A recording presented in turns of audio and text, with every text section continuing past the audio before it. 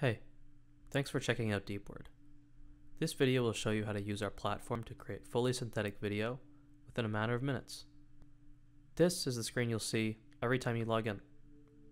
From here, you can view all the videos you've made in the past, or, as we're going to do today, create new videos. First, start by selecting the Create New button. Then, select your video input. This should be a short video clip of the actor you want talking.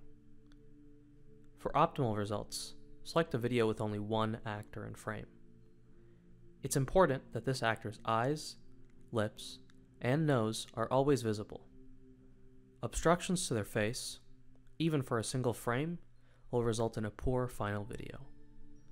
Here, we are going to select a 14 second clip of Adam Sandler.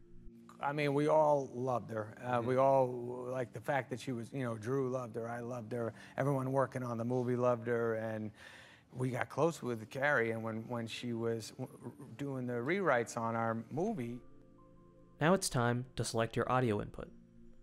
This is the audio that we want our video actor to say. For optimal results, pick an audio clip with minimal background noise, because all detectable sounds will be converted to lip movements in your generated video. The reason why keeping all your money in a bank account is such a bad idea is because of inflation. Due to inflation, cash steadily. Remember that this audio can be in any language, and that the length of this file will be the length of your final video. Finally, click Generate Video.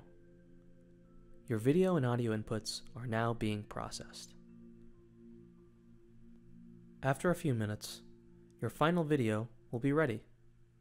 Now, you'll be able to view The reason why keeping all your money in a bank account is such a bad idea is because of inflation. Due to inflation, cash steadily loses its purchasing power at a rate of roughly 2% per year. That means over the next 30 years, uninvested cash will lose more than half of its value.